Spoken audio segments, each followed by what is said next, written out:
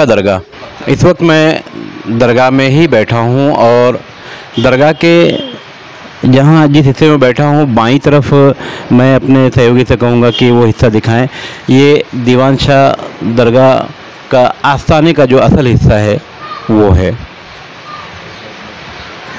मेरे चैनल पर आप लोगों ने कई बार दीवान शाह दरगाह के ताल्लुक़ से छोटी छोटी क्लिप भी देखा होगा और अभी अभी दीवान शाह दरगाह का उर्स भी ख़त्म हुआ है। वो भी आप लोगों ने देखा है।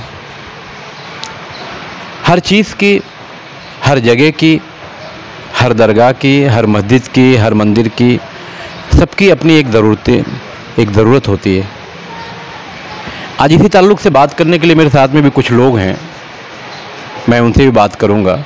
उससे पहले मैं बताता चलूँ कि दीवान शाह बाबा की जो दरगाह है, इसकी जो मिल्कियत है पूरी, करीब सत्तावन एकड़ ज़मीन है। सत्तावन एकड़ पर भिवंडी शहर के करीब करीब पाँच परसेंट सफ़ेद पोश, जिन्हें आमतौर से नेता कहा जाता है, उनके कब्ज़े में यहाँ की ज़मीनें हैं। किसी गरीब ने अपना पेट भरने के लिए अगर यहाँ झोपड़ा बनाया होगा तो वो अलग बात है, मगर लोगों ने यहाँ बिल्डिंगें बनाकर बेची है, ये सच्चाई है। बहरहाल, दरगाह की अपनी ज़रूरत की बात मैं कर रहा था। तो सच्चाई बता दूँ तो दरगाह की जो बाउंड्री है, बाउंड्री के अंदर की जो ज़मीनें हैं, जिसमें आस्ताना बाजू में एक मस्जिद, कुछ छोटी छोटी कब्रें, अगर इन सबको मान लिया जाए तो एक अंदाजे से बता रहा हूँ कि चार या पाँच गुंटा ये ज़मीनें होंगी, जहाँ दीवान शाह बाबा दरगाह का आस्थाने का हिस्सा वगैरह मौजूद है। और चारों तरफ़ से बाउंड्री मौजूद है, पीछे तालाब है।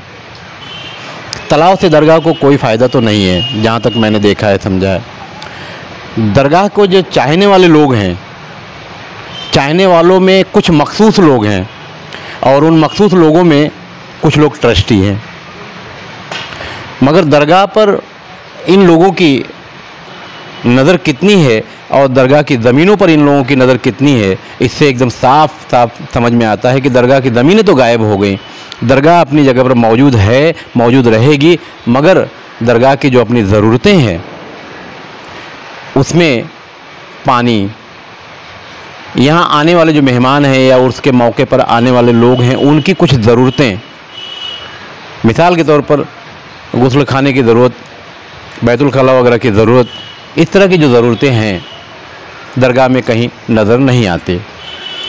तो ठीक है, मर्द हजरात जो दरगाहों पर या इस दरगाह में आते जाते हैं तो अपनी ज़रूरत तो कहीं ना कहीं पूरी कर सकते हैं, मगर जो औरतें दीवान शाह बाबा को मानने वाली, उनके आस्थाने पर सर झुकाने वाली जो औरतें यहाँ आती हैं, उसमें गैर मुस्लिम भी हैं, मुस्लिम भी हैं, अगर इन्हें उस वक्त कोई ज़रूरत पड़ी तो कहाँ जाएँगी? क्योंकि दरगाह की बाउंड्री के अंदर और ख़ास बात यह कि बाहर भी कहीं ऐसा महानगर पालिका की तरफ़ से भी कोई ऐसा बंदोबस्त नहीं है यहाँ।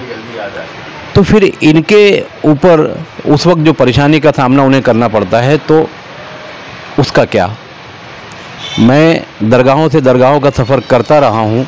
मैंने और दरगाहों पर तो बहुत कुछ देखा है, मगर यहाँ न गली है, न लंगर खाना है। जैसे अजमेर में आप जानते हैं, अगर अजमेर गए होंगे तो वहाँ गली लंगर खाना भी है। दरगाह के अंदर सारे निज़ाम इंतज़ाम भी हैं। मगर यहाँ दरगाह के नाम पर सिर्फ़ दीवान शाह बाबा का वो आस्थाना है और ज़रूरत के लिए कोई चीज़ यहाँ मौजूद नहीं है। आज इसी पर बात करने के लिए हमारे साथ में बाबा बैठे हैं। बाबा अपना नाम बताइए। मैं हसन खान और बाबा एक ज़माने से आप दीवान शाह दरगाह में मौजूद हैं देख रहे हैं समझ भी रहे हैं सब यहाँ जो ज़रूरियात की का फकदान है, जो कमियाँ हैं, उसके बारे में आपका क्या ख्याल बहुत सारी कमियाँ हैं, बहुत सारी जो है ना, और आपने जो कहा, मैं उसकी तायद करता हूँ। और मेरी अपनी एक तमन्ना है कि यहाँ पे एक लंगर खाना खुले, और हमारे मरहूम जो 45 साल से उन्होंने खिदमत की, आज वो इंतकाल हो गया है। मैं चाहता हूँ कि उसी ज़मीन पे जो है एक लंगर खाना खुले, और ये बहुत बड़ा नेक काम है। ये आप उसम की सुन्नत सुन्नत भी है आपके पास कुछ आता तो आप असाफ सफ़ा के पास भेजा करते और ये अलिया कराम का ये बहुत बड़ा ये काम रहा है कि गरीबों को खाना खिलाना एक शान है। बुज़ुर्गों की एक शान है कि कोई भी आदमी आए तो ना भूखा रहे, ना प्यासा रहे। ये औलिया की शान है। इसलिए मैं अपनी तरफ़ से मेरी अपनी भी तमन्ना है एक लंगारा खाना खुले और मोहल्ले के एहलियान से मैं गुजारिश करूँगा, ख़ास तौर से यहाँ के कारपोरेटर और यहाँ के भी जो लोग, ज़िम्मेदार लोग हैं, उनसे भी गुजारिश करूँगा और इस यहाँ के ट्रस्ट से भी गुजारिश करूँगा कि इस काम के अंदर आप बढ़ चढ़ के हिस्सा लें और उसको जल्द से जल्द कायम करें। ये मेरी अपनी एक तमन्ना है और मेरे साथ जो लोग उर्स के अंदर लंगर करते हैं। आपने अपनी हयात में उनके सामने कहा था कि यहाँ पे लंगर खाना बनना चाहिए। तो एक मरहूम की एक तमन्ना है। हम चाहते हैं कि हम सब मिल के उसे पूरा करें और हम चाहते हैं कि हम सब मिल के और खसूस इस मोहल्ले के लोगों से, बच्चों से, बूढ़ों से, जवानों से मेरी एक गुजारिश है कि आप सब मिल के इस कार्य खैर को खड़े रह के पूरा करें। बहुत बहुत शुक्रिया। इदरीस बाबा, हालाँकि मैंने इन्हें देखा नहीं है, मगर उनके जानने वाले एक ऐसे दीवाने का नाम बता रहे हैं जो इस दरगाह में, यानी दीवान शाह बाबा के आस्थाने के करीब रहकर अपने 45 साल गुजार दिए। 45 साल पहले वो मुकादम थे, बाद में जब दरगाह से उनकी मोहब्बत बढ़ी, दीवान शाह बाबा से उनकी मोहब्बत बढ़ी तो वो यहाँ पानी भरते थे या इस तरह का, यानी जो भी काम दरगाह के ताल्लुक से होता था, वो अपनी मर्ज़ी से किया करते थे और कुछ पिछले हफ़्ते उनका इंतकाल हो गया। इंतकाल से पहले कुछ लोगों ने उनसे बात भी की थी कि बाबा यहाँ कुछ ज़रूरतें हैं तो उन्होंने कहा भी था कि मेरे बाद जल्दी ही बना लेना। ये वो जगह है। तो ये जगह जो है, दीवान शाह बाबा के इस वक्त मैं जहाँ मैं बैठा हूँ, बाएँ हाथ पर ये आस्थाने का हिस्सा है, उसके पास ही वो जगह है। और वो जगह है। तो असल में दरगाहें किसी की अपनी मिल्कियत नहीं हुआ करती, या इस तरह के खैर के जो काम होते, किसी अपनी की मिल्कियत नहीं होती। अवामी मिल्कियत यूँ समझा जाता है, ठीक है, ज़िम्मेदारान कुछ होते हैं, मगर यहाँ जो ज़िम्मेदारान हैं, उनका पता नहीं है, क्योंकि अब दीवान शाह बाबा के एतराफ़ की जो जगह हैं, वो भी ख़त्म हो चुकी हैं तब बिल्डिंग कहाँ बनेगी? बहरहाल ट्रस्टी हजरात जो बाहर मैंने एक बोर्ड भी देखा है ट्रस्टी तो ये लोग कहाँ हैं? दरगाह की ज़रूरतों को पूरा करने के लिए, अभी अभी एक बड़ा मेला यहाँ भरा था तो मेला भरा होगा तो ज़रूर उसमें कुछ ना कुछ मामला रहे होंगे, कुछ ना कुछ फंडिंग रही होगी तो वो पैसे कहाँ हैं? आवाम ये भी जानना चाहती है। इस वक्त हमारे साथ में मौजूद हैं बाबा को इदरीस बाबा को अच्छी तरह से जानने वाले। आप अपना नाम बताइए। अयाज अंसारी। तो अयाज साहब आप ये बताइए कि इदरीस बाबा जो थे उनके क्या ख्याल थे उनका क्या अरमान था? इदरीस बाबा के ताल्लुक से तो मैं ये बताना चाहूँगा कि जब से मैं उनको जानता हूँ और मैंने जब से दीवान शाह पे आना शुरू किया इदरीस बाबा हमेशा सरकार दीवान की खिदमत किया करते थे और उनके ज़ायरीन की भी खिदमत किया करते थे। और बड़े नेक शख्स थे। उन्होंने हमेशा दीवान शाह को फ़ायदा पहुँचाने का काम किया, जबकि यहाँ के जो ट्रस्टियान वगैरह हैं, इनका झगड़ा सिर्फ़ झोली और गले का ही होता है। इनका झगड़ा सिर्फ़ झोली और गले का होता है। मगर इदरीस बाबा बिला लोस बिला कुछ लिए दिए, लोगों की खिदमत किया करते थे। और वो दीवान शाह रहमतुल्लाह के आस्थाने पर आने वाले तमाम ज़ायरीन का ख्याल रखते थे। तो उनकी ये ख्वाहिश थी कि मैं मेरे ज़िंदगी में या मेरे जाने के बाद मेरी जो जगह है, वहाँ पर एक लंगर खाना तामीर किया जाए। तो मैं आपके माध्यम से गुजारिश करूँगा, रिक्वेस्ट करूँगा, चाहे वो वब बोर्ड हो, चाहे ट्रस्ट हो, या जो भी इसके ज़िम्मेदार हो, दीवान शाह के, कि यहाँ सबसे पहले एक औरतों का तारत खाना बनाया जाए। क्योंकि आदमियों का तारत खाना तो अलहमदिल्ला मस्जिद का है, मगर उसमें औरतें नहीं जा सकती। यहाँ मुंबई मुमरा कल्याण, ठाणे, बाहर से लोग आते हैं। औरतें आती हैं जिन्हें बहुत सारी तकलीफ़ होती है जिसे हमारे गुलाम खादिम है दीवान शाह सरकार के खादिम गुलाम भाई ये औरतों को यहाँ वहाँ इनके उनके घरों में भेजते हैं। तो मैं आपके माध्यम से ये कहना चाहूँगा कि इन सब चीज़ों पे जो ज़रूरियात हैं यहाँ दीवान शाह सरकार की अभी दी, आपने एक बात कही दीवान शाह सरकार का इतना बड़ा उर्स भरा गया। पाँच छः लाख जो भी आया है इससे कम तो नहीं आया मगर नाम दीवान का, पैसा दीवान का और दीवान के लिए कुछ नहीं। जी, बहुत बहुत शुक्रिया। इदरीस बाबा की जो कहानी है, वो अकेले थे। हालाँकि कहीं ना कहीं उनके वारिस भी रहे होंगे, मगर मुझे नहीं लगता कि वो इस शहर में होंगे।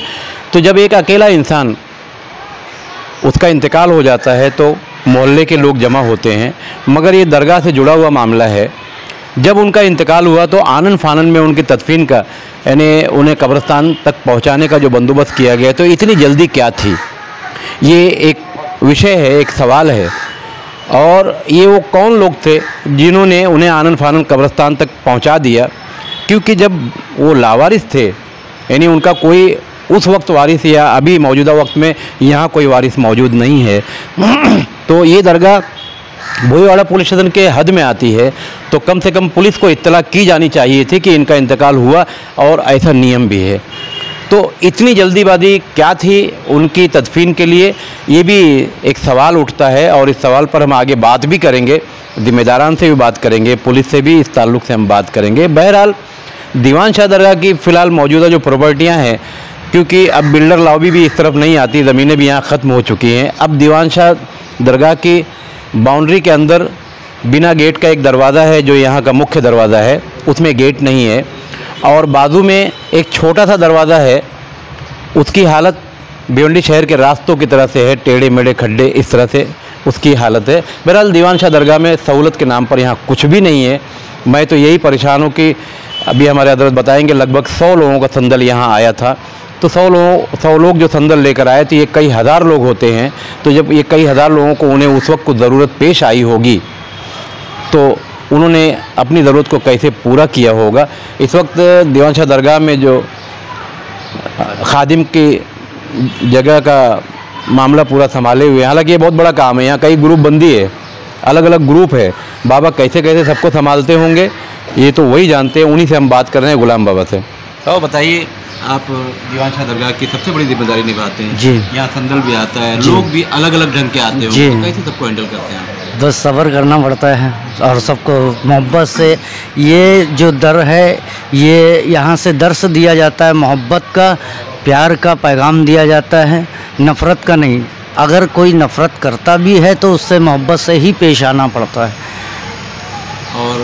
बाबा के बारे में क्या कहेंगे? अभी आ, जी इदरीस बाबा का कैसे वो कुछ नहीं मैं समझता हूँ पैंतालीस साल से यहाँ पे सरकार की बारगाह में खिदमत की है। लंगर खाना पहले चलता था तो वही लंगर खाने में लोगों को खाना खिलाना यहाँ बाहर झाड़ू मंगाना पानी वगैरह पहले बावड़ी से लाया जाता था। अब वो जगह खाली है तो- है। जी जी। तो वहाँ क्या बनना चाहिए? आपके अब लोगों लोगों का ये ये कहना है कि बाबा का इंतकाल हो गया, जगह खाली है तो लंगर खाना बनाओ।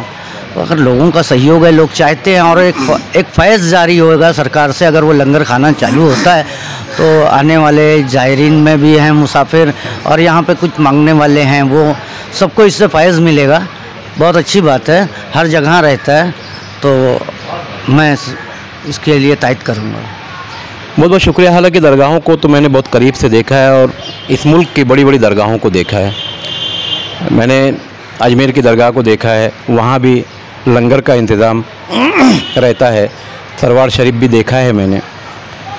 और अभी अभी मैं उत्तर प्रदेश जाकर आया हूँ।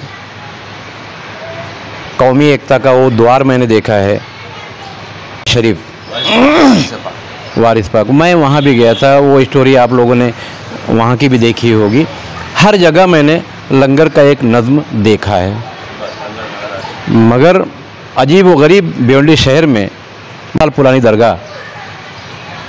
मगर यहाँ इस वक्त पहले भले रहा होगा, मगर इस वक्त यहाँ ऐसा कोई नज़म नहीं है कि लंगर खाने में अगर जिम्मेदारान जो यहाँ मौजूद है कुछ पकाना चाहें, बनाना चाहें या बाहर से कोई आकर यहाँ कुछ करना चाहे तो ऐसा कर सके, ऐसा यहाँ कुछ भी नहीं है।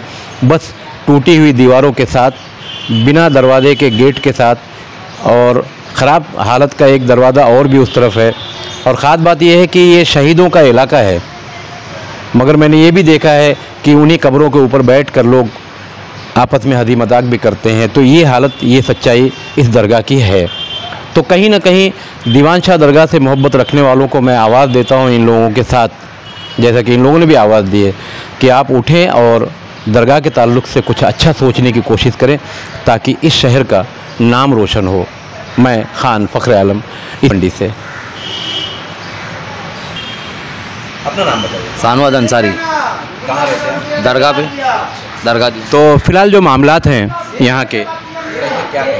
वेल क्या कहने कहने का क्या ज़रूरत है? जैसे आपको मालूम है लंगर खाने की यहाँ ज़रूरत है। तो इदरीस बाबा का इंतकाल हो गया वो चाहते थे कि यहाँ पे हमारी जगह पे एक लंगर खाना बन जाए। और लंगर खाना बन जाएगा तो यहाँ आवाम के लिए फ़ायदेमंद होगा और यहाँ के लोग के लिए भी फ़ायदेमंद होगा। आने वाले ज़ायरीन कुछ भी पका के अपना लंगर करा सकते हैं। जी बहुत बहुत शुक्रिया खान साहब क्या कहेंगे आप? जी बहुत ज़रूरी है जैसा कि हालात बने हैं हम लोग भी दरगाहों पर जाते हैं और हर जगह हमने देखा है कि कहीं ना कहीं हर दरगाहों पर लंगर खाने का छोटा या बड़ा अहतमाम होता है जबकि कदीम दरगाह दीवान शाह यहाँ पर कोई अहतमाम नहीं है और अभी जो खाली जगह पड़ी है और मरहूम इदरीस बाबा जो रहे वो अब नहीं रहे उनकी दिली तमन्ना थी। तो मैं आपके चैनल के माध्यम से बताना चाहूँगा कि मरने वाले की आखिरी तमन्ना को पूरा किया जाए और दीवान शाह के लोग, जो खिदमत गुजार लोग हैं, जो मानने वाले लोग हैं, वो ऐसा चाहते हैं कि वह लंगर खाना बने या तहारत खाना बने तो दोनों चीज़ें ज़रूरी हैं। और मैं जनता से भी अपील करूँगा, दीवान शाह के लोगों से भी अपील करूँगा कि उसमें वो सहयोग दें और अच्छा एक खूबसूरत लंगर खाना वहाँ तामीर किया जाए। शुक्रिया। बहुत बहुत शुक्रिया।